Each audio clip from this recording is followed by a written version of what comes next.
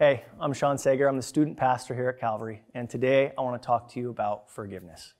Everybody, and I mean everybody, has someone in their life who they need to forgive. And if you personally think you don't, sometime in the future, I guarantee you will. But then there are some of you who know exactly what I'm talking about. The minute I mention the word forgiveness, you instantly have someone pop in your mind. And oh boy, there's no way you could forgive this person. I know it. This person had wronged you, they had gypped you, they had abandoned you, this person bullied you. Worse yet, this person maybe has hurt you beyond healing. And for my people who have someone come to mind, you understand that forgiveness is one of those things that is easier said than done. However, as a Christian, you can't ignore Jesus' words or action when it comes to forgiveness or even your lack of forgiveness. Check this verse out Luke 6, verse 37 to 38. Do not judge, and you will not be judged. Do not condemn, and you will not be condemned. Forgive, and you will be forgiven. Give, and it will be given to you. A good measure, pressed down, shaken together, and run over, will be poured into your lap. For with the measure you use, it will be measured to you. Jesus taught this. Forgive and you will be forgiven. The measure you use and it will be measured to you. And what's the implication here? If you live an unforgiving life, if you allow that one person who just mm, makes you mad to go unforgiven in your heart, Jesus' forgiveness is not measured out to you. And what's Jesus really saying here? He's saying that if you live a life not forgiving those who have truly hurt you, you don't understand the gospel because you were forgiven by God when you also didn't deserve it, when you wronged God by your sin, and yet He still forgave you. And this brings me to today's passage in Luke 23 34. Not only did Jesus teach about forgiveness, about its power, its importance, its prominence in His kingdom, He demonstrated it. Picture this Luke 23 34 has Jesus hanging on a cross. He's surrounded by the people who are executing him. They are mocking him. They are spitting on him. And just before they put him on that cross, they beat him to within an inch of his life.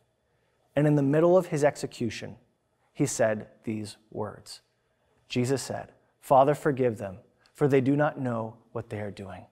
And they divided up his clothes by casting lots. Jesus knows exactly what it's like to be wronged, to be gypped, to be abandoned, to be bullied, and even hurt, hurt to the point of no return, hurt to the point of death.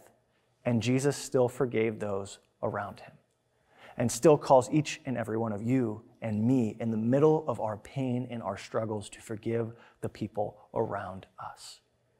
You know, Jesus wouldn't tell us something or do something and wouldn't have lived it out if he didn't think it was absolutely imperative to your health and your spiritual growth if you're a new believer, or even if you've known Jesus for most of your life, getting better at forgiving one another is a part of your continued growth as a new creation. Continuing in unforgiveness makes us a hypocrite to the gospel we say we believe in. And even more than that, holding on to that unforgiving attitude will eat you up from the inside out. You know what I'm talking about. Being angry with someone makes you a hollow shell. Don't allow other people to hold that kind of power over you. Instead, forgive them and trust that forgiveness is the path towards all kinds of healing. And you know what? If you're having trouble forgiving someone, reach out to us here at Calvary. We will pray for you. We will coach you through it. We want you to be steered in the right direction because we know that living an unforgiving life is detrimental to your health and your understanding of the gospel. I want to end on the Apostle Paul's words from Romans. Romans 12, verses 17 through 21 says this Do not repay anyone evil for evil, because be careful to do what is right in the eyes of everyone. If it is possible, as far as it depends on you, live at peace with everyone. Do not take revenge, my dear friends, but leave room for God's wrath, for it is written, It is mine to avenge, I will repay, says the Lord. On the contrary, if your enemy is hungry, feed him. If he is thirsty, give him something to drink. In doing this, you will heap burning coals on his head.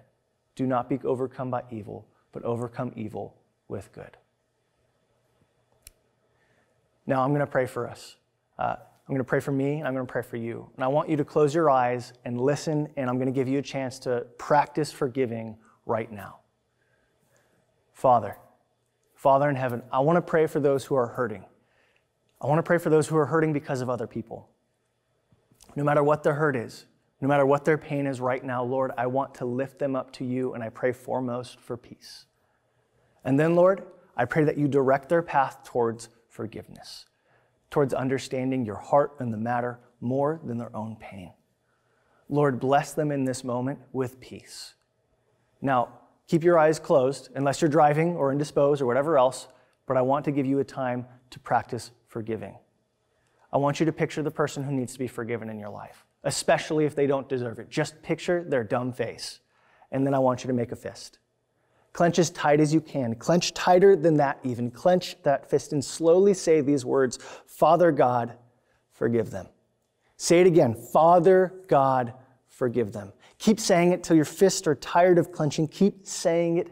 And finally, as your hands are tired from holding on to the pain that others have caused you, when if you're ready, heck, even if you're not ready, open your palms to the sky and say these last words Father, I forgive them.